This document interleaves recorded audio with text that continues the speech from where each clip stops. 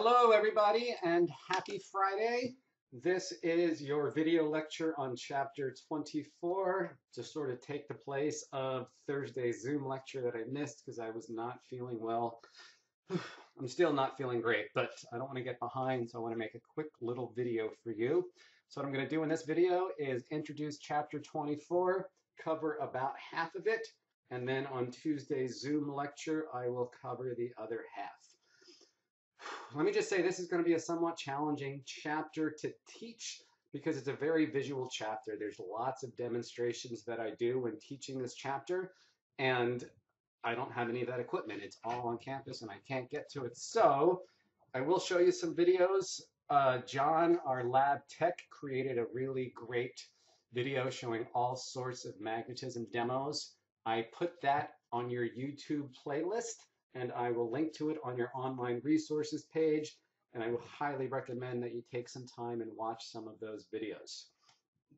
So chapter 24 is all about magnetism. And many of you are familiar with just magnets from putting things on your refrigerator, or hopefully you played with magnets as a kid. What I want to do is sort of go through the actual physics behind what's going on. So here's what we're going to cover in chapter 24. So I'm going to talk about what magnetic forces are, what creates magnetic forces, and a little preview. All moving charges create a magnetic field around them.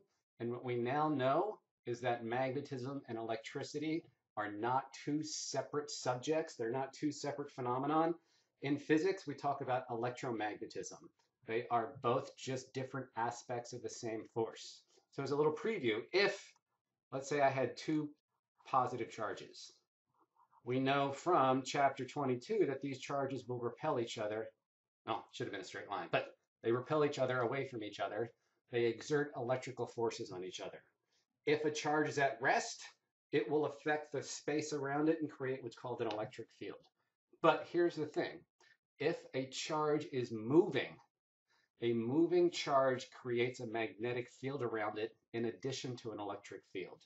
And what we now know, and this is something that Einstein discovered, is that all magnetism basically comes from moving electric charges.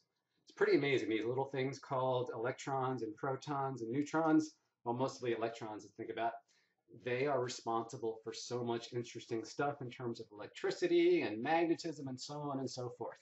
So we're going to talk a little bit about sources of magnetic forces, magnetic poles, and magnetic fields. Then I'm going to talk about magnetic domains. This is why some pieces of iron and nickel and cobalt, which are the th three main types of materials that can be magnetized, some pieces of iron are magnetic, some pieces aren't. Why? And the answer has to do with something called magnetic domains. Then I'm going to talk a little bit about electromagnets since moving charges create electric or magnetic fields, an electromagnet can be created just by sending a current through a wire. That moving current will create a magnetic field. And so in essence, an electromagnet is a magnetic field that I can turn on and off by just turning on and off a switch and letting current flow in a circuit or not. Then we'll look at magnetic force on moving charges. I'm not going to deal with magnetic force on a current carrying wire. And then the last thing we'll look at is the Earth's magnetic field. And what we'll see is that the Earth's magnetic field is really beneficial to us. If the Earth didn't have a magnetic field, you would not be at home right now watching this fascinating online lecture. Okay, so most of you are familiar with what magnets do. What I want to try, I haven't done this before, but I embedded a video into OneNote. I want to see how this works. So just as a little, uh, let's try this. Oof. Let me just fast forward a little bit. Hey, let's bring in Physics 10 video. video. What happened there? Video update. Did I go to a different page? Office hours, no. I just lost it. Okay, that's fun, fun, fun, fun. So I'm not going to edit this because I have actually started and stopped this video like five or 10 times trying to make it perfect. So I'm giving that up. So let's try playing this on YouTube. everybody is probably pretty familiar that if we have a magnet, um, what the you know the most basic thing we know about magnets is they they stick to metal things, right? They stick to your refrigerator or they stick to nails, and you can pick things up with them. That's our main experience with magnets. Um, we also kind of know that they don't stick to stuff like wood, things like that. So they, they stick to metal things, but quick little pause. One of the things that we're going to go through is that there's only certain kinds of material that can be magnetized. And the three main kinds are iron, nickel, and cobalt. Those are the three kinds of materials that can generally be magnetized. And we'll see the reason they can be magnetized is because iron, nickel, and cobalt have more electrons spinning in one direction than they do another. And I know I haven't gotten to that yet, but most magnetism comes from moving electrons and some kinds of atoms, iron, nickel, and cobalt, have more electrons, what's called spinning in one direction than in another direction, which means they are magnetic overall. So the things that can be magnetized are things that contain iron, nickel, and cobalt. Continuing forth. Which is like, huh, why do they stick to metal things? And another thing we know about magnets, we learned a long time ago, humans did, that if you take a magnet and you put it on some bearing or something so it can rotate around, that it's going to tend to want to point in a certain direction. And it, we figured out that, huh, one end of it likes to point north. That's pretty convenient.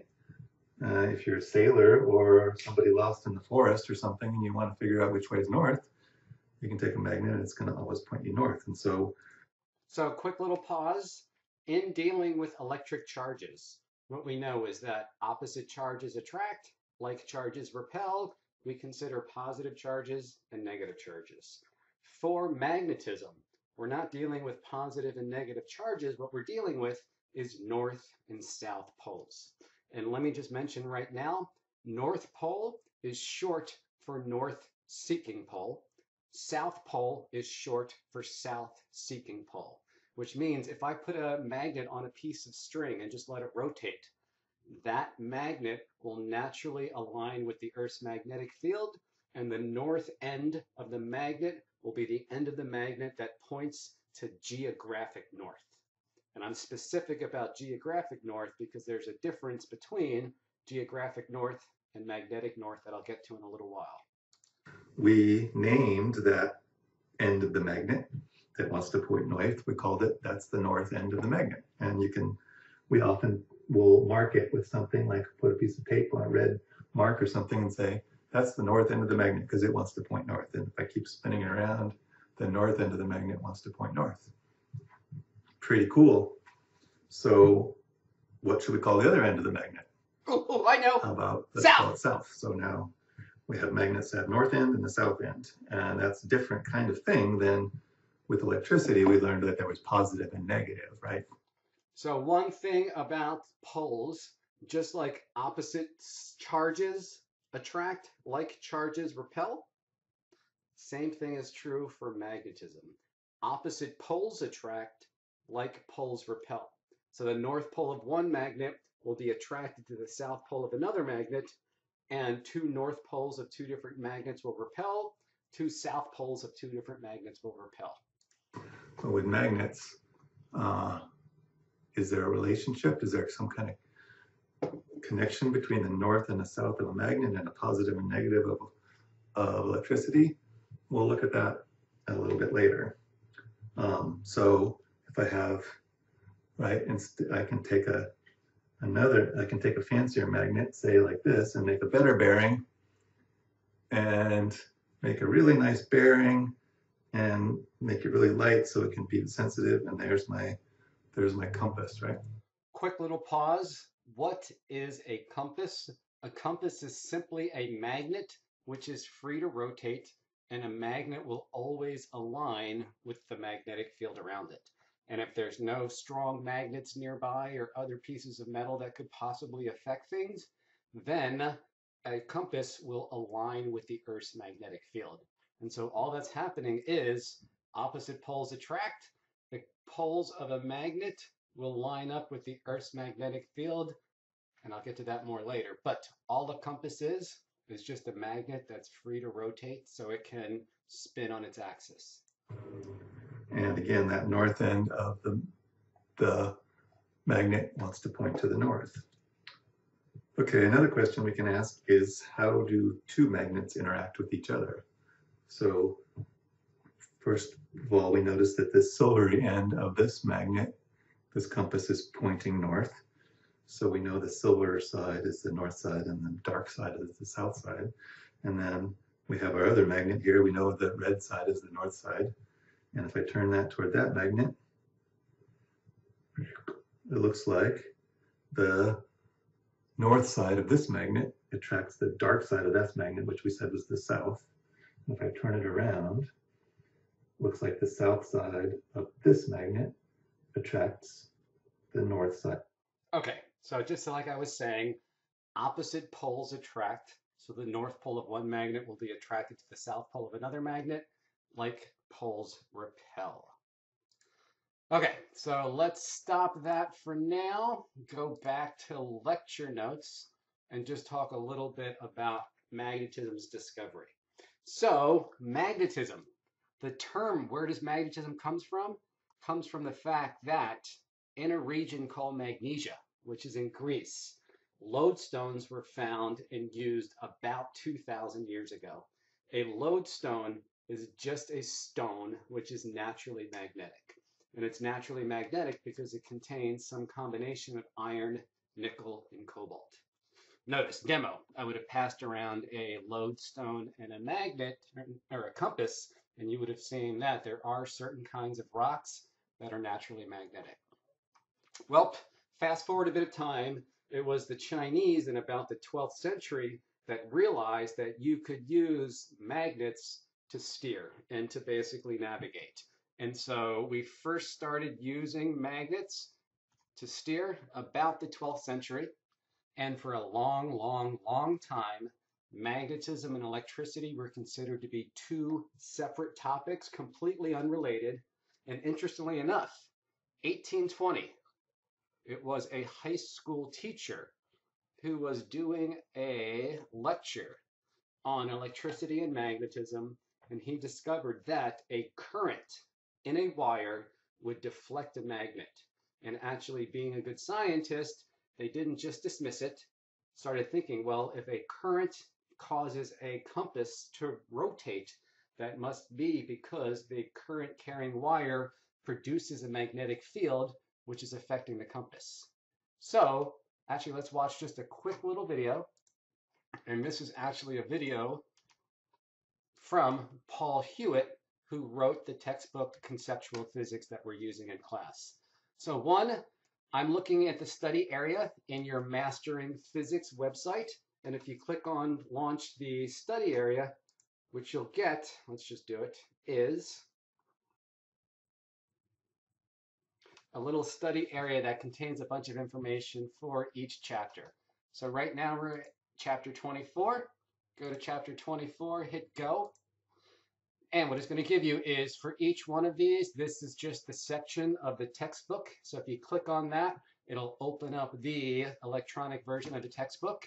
One, any kind of interactive figures it has, it'll show. And I'll open this. Oh, actually, let's just do this right now.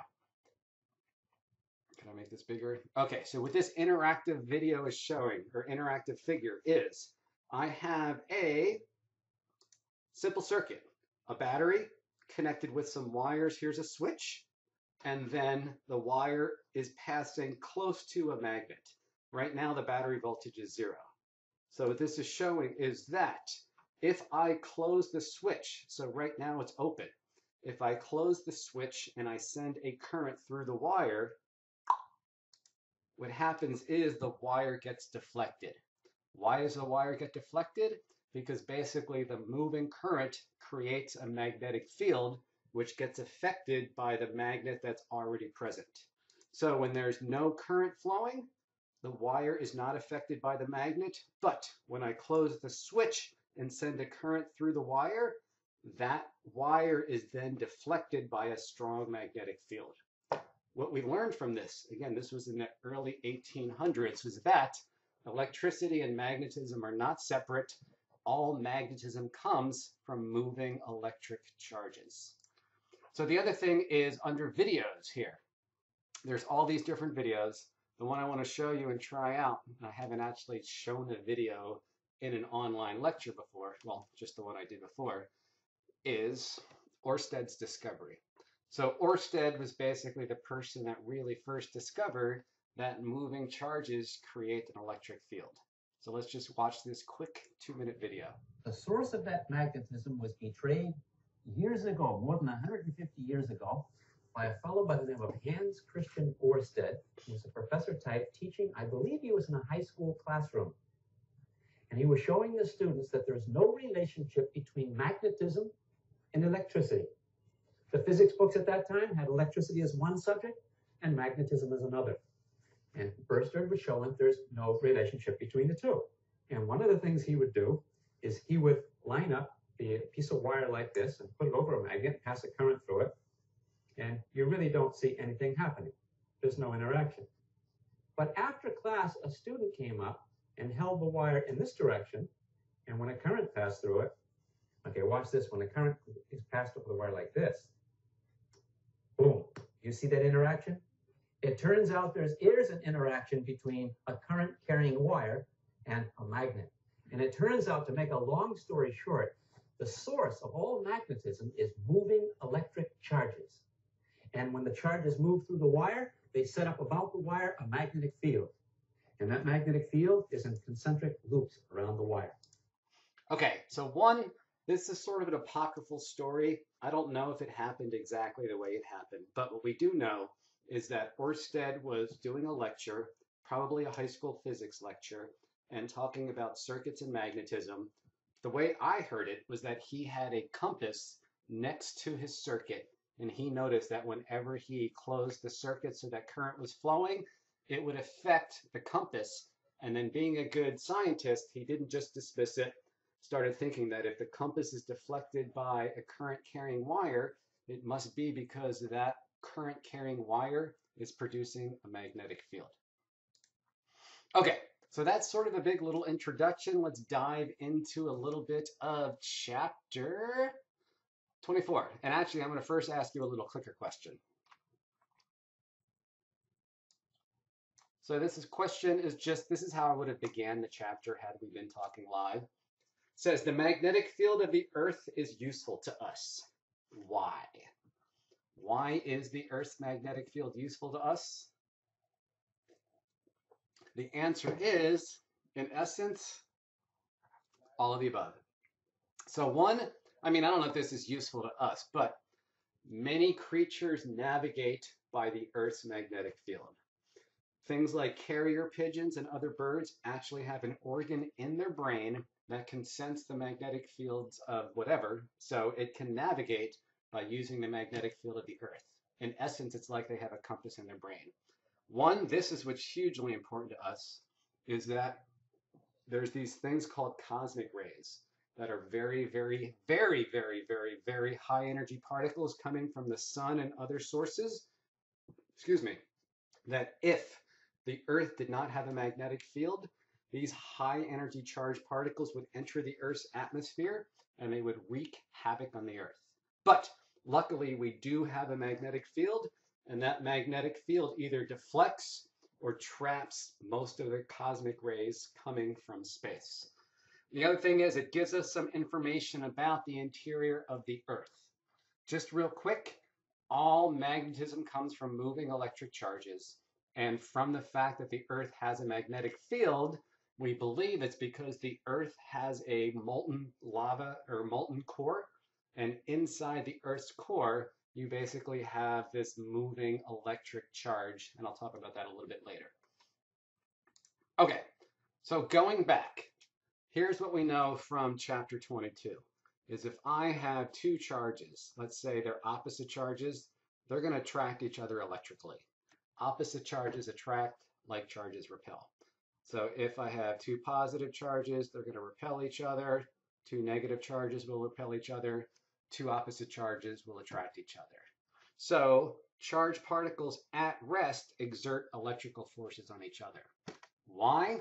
because anytime I place a charged particle in space, it will literally change the space around it and create what's called an electric field. Here's the cool thing. If these charges are moving, not only do they have an electric field around them, they also have a magnetic field, which means that if they are moving, in addition to creating electric fields and having electrical forces on each other, they will also create magnetic fields and exert magnetic forces on each other. So first really big point of this chapter is all magnetism comes from moving electric charge. All magnetism comes from the fact that a charge is moving and a moving charge will create a magnetic field. A stationary charge, so if I just have an electron out in space, this electron will affect the space around it and it creates what's called an electric field. Let's actually make this a positive charge. And the electric field we draw with field lines. And field lines basically is just a way of representing something you can't see. And a little reminder, the way these field lines work is the direction the field line point shows the direction of the electric field. So if this line is pointing away from this positive charge, that means the electric field is pointing away. And the closer together the lines are, the stronger the electric field. So like here, the lines are closer together here than they are out here, which means the electric field is stronger closer to the charge. So a stationary charge creates an electric field around it that'll affect other charges. But if the charge is moving, a moving charge will create a magnetic field, and that's where all magnetism comes from. So a little preview. Let's say I have a permanent magnet, kind of like we saw in the video north and a south pole that I'll talk to in a second. If all magnetism comes from moving electric charges and I just have a permanent magnet, what's moving in that permanent magnet? And the quick little answer is electrons. Every atom basically has electrons that are orbiting around the nucleus. And we'll touch on this later, in addition to orbiting, they're also doing something called spinning. And it's these moving, spinning electrons that create all magnetism. Okay, so again, we learned the fact that electric forces can be attractive or repulsive, and it depends upon charge. Opposite charges attract, like charges repel. Well, magnetic forces can also be attractive or repulsive, but they don't depend upon charge, they depend upon poles. And so North Pole is really short for north seeking pole. If this was a compass, or if this was a magnet and I could just hang it on a string, it would rotate and it would align with the Earth's magnetic field. One end of it would point towards geographic north. That's the end that we call the North Pole. And again, I'm differentiating between geographic north and magnetic north. And let me just tell you now why, because it's interesting. Well, no, let me get to it in a little bit. But let me just say that one, magnetic north, magnetic north and geographic north are not lined up. I'll just touch on it real quick. So geographic north is just sort of in terms of geography, point straight up. So this would be my geographic north and geographic south. But there's a difference between geographic north and magnetic north. So this would be magnetic north. And your compass always points to the Earth's north pole. Well, I'll get to that in a little while. But your magnet doesn't point towards geographic north. It points towards magnetic north. And if you were ever out in the wilderness and you're trying to use a compass to navigate, you need to know the difference between where your compass points and where true north is. And we call that magnetic declination. And I'll get to that on uh, Tuesday's lecture. So, second big point is like poles repel, opposite poles attract. Just like like charges repel, opposite charges attract. For electricity, for magnetism, we're talking about poles. North pole is the pole of a magnet that points to geographic north. South pole is the pole of a magnet that points to geographic south. Opposite poles attract, like poles repel. Another interesting point. And if you want to become a physics superstar, if you found what's called a magnetic monopole, you would be like the new Einstein of the ages. What we know is that every magnet on the planet, in fact, every magnetic thing in the universe, as far as we know, always has a north pole and a south pole. It's impossible, impossible to have what's called a magnetic monopole, meaning an isolated north pole or an isolated south pole. They always, always, always come in pairs. You can never, ever, ever find a north pole without a south pole and vice versa. If you did, the laws of physics as we know it would need to be modified and it would be amazing. It would be like one of the discoveries of the century. But as far as we know, every magnet has a north and south pole. So what does this mean? Let's say I took a magnet and I broke it in half. In class, I would have shown you a magnet broken in half. But, so let's just say I've got a north pole and a south pole. And I take this magnet and I break it in half. What I'm going to end up with is two magnets, each one of which has a north pole and a south pole. And the two magnets are going to be weaker than the original magnet. So if I take this magnet, I break it in half, I'll end up with a north pole here, a south pole here, but I always have two poles. There's always a north and a south pole together, never by itself. If I were to take this magnet on the left and break it in half, and this magnet on the right and break it in half, I'm always going to end up with magnets that are weaker than the original, and they're still going to have a north and a south pole always. Now, here's a cool question for you. Imagine if I just kept up this process and I broke this magnet in half, and then I broke this one in half, and I just kept breaking these in half and getting smaller and smaller and smaller. This has an interesting implication. What is it? So if I were to keep taking a magnet and breaking it in half and half and half and half and half and half and half, what does that imply? Well, eventually I'm going to get down to the atomic level where I'm going to break 100 atoms in half and then 50 atoms and then so on and so on and so forth. If every time I break it in half, I still have to have a north and a south pole, what that means is that atoms themselves are tiny magnets. Very interesting thing. The fact that all atoms have electrons in them that are orbiting the nucleus and as we'll get to, like planets spinning on their axis, we also have what's called electron spin. So as the electrons are moving around the nucleus, one, I have a moving charge just like a planet orbiting the sun. It's in orbit. That's not true quantum mechanically, but in our model, it's in orbit around the nucleus. That's a moving charge. But the electron, just like a planet, is also spinning as it's moving around the nucleus. That is also a moving charge, which creates a magnetic field. Okay, so let's talk about magnetic fields. So one, electric and magnetic fields are both interesting concepts. We can't really see it. Well, we can't see it with our eyes. Don't really have an organ in our brains to sense electric fields or magnetic fields, although some animals do.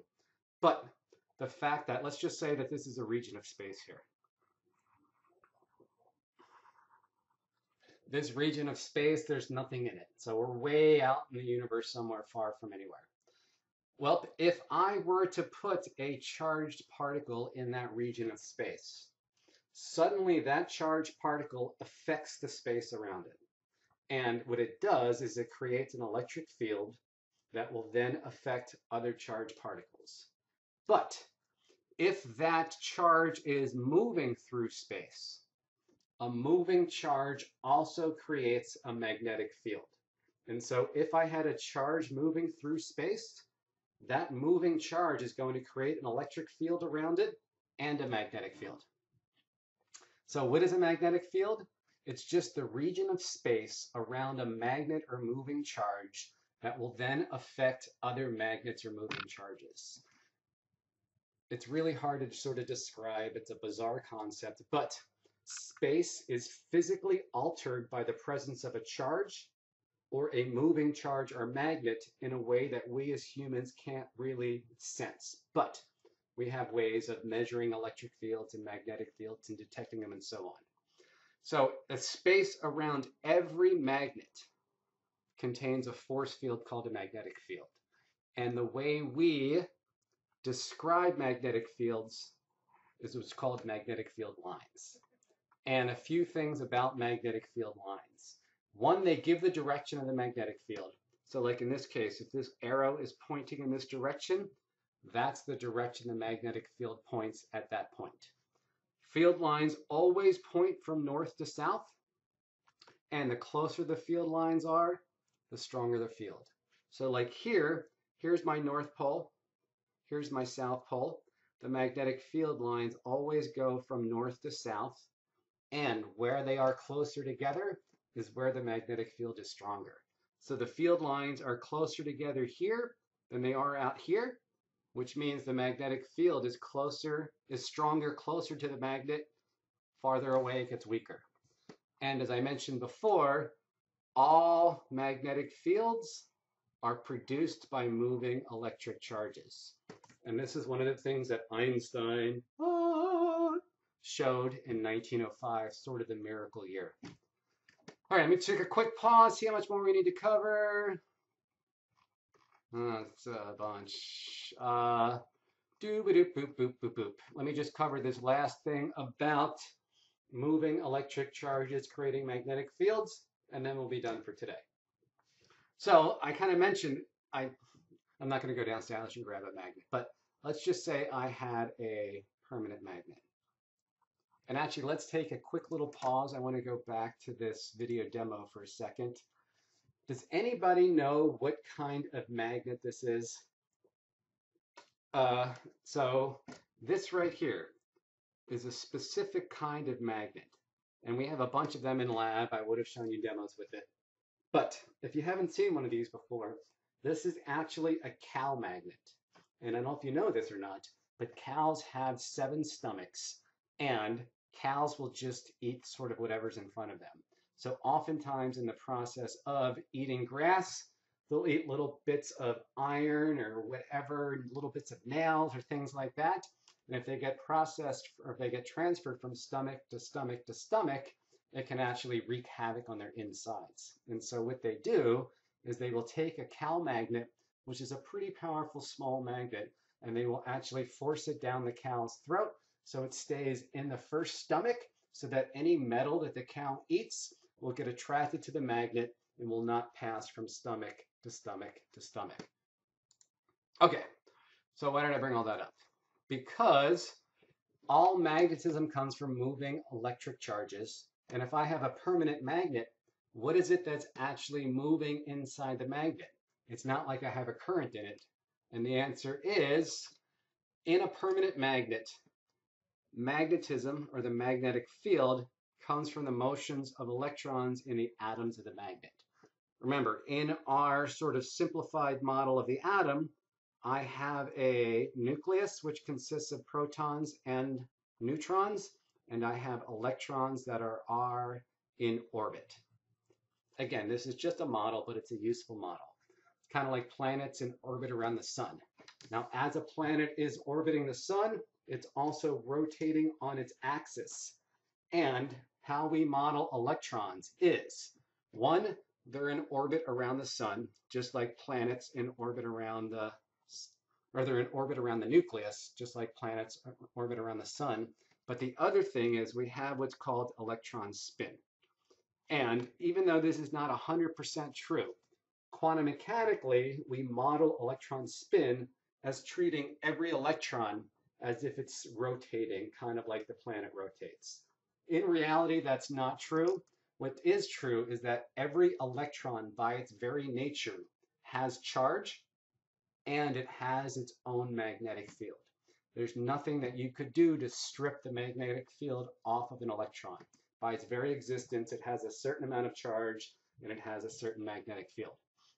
So in an atom, I've got electrons that are moving in orbit around the nucleus, and they're also spinning. That spinning electron that's moving around the nucleus is what creates the magnetic field in a permanent magnet. So then the question might be, why, if all atoms that have moving spinning electrons, why aren't all atoms magnetic? And the answer is interesting, and it's this. Let's say I had two magnets that point in the same direction. Well, let me put it this way. We consider electrons spin to be either up or down. And this is quantum mechanics. You don't really need to know the nuts and bolts of this. But electrons can have either a spin up or spin down. And it really has to do with their magnetic fields. The important thing is this. In most magnets, it's the fact that electrons have what's called spin, which is really just an inherent magnetic field. That's what causes most magnetism. If that's true, then why aren't all atoms magnetic? Well, it has to do with this. If two electrons spin in the same direction, and again, this is a bit of quantum mechanics, but the key thing is if I have two electrons that have their magnetic fields pointing in the same direction, that is going to result in a stronger magnetic field. If, on the other hand, I have two electrons that spin in opposite directions, so one is spin up and one is spin down. Again, don't worry about the magnetic or quantum mechanical part, but if two electrons have opposite spins, then their magnetic fields are going to cancel. It's almost like why aren't all objects charged if there's vast numbers of protons and electrons? Because for every proton, you generally have an electron. so the total charge is zero. Same thing is true about magnetism. For every electron you have spinning in one direction, you have an electron spinning in the opposite direction, so their magnetic fields cancel. This is why most materials are not magnetic. However, there's three kinds of atoms that in general have more electrons spinning in one direction than the other direction. And those are iron, nickel, and cobalt. now, I've simplified it a bit.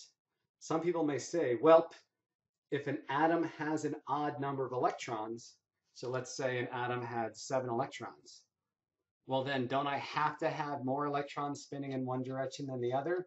And the answer is yes, but I'm simplifying it a bit. And the key takeaway is magnetism comes from moving electric charges.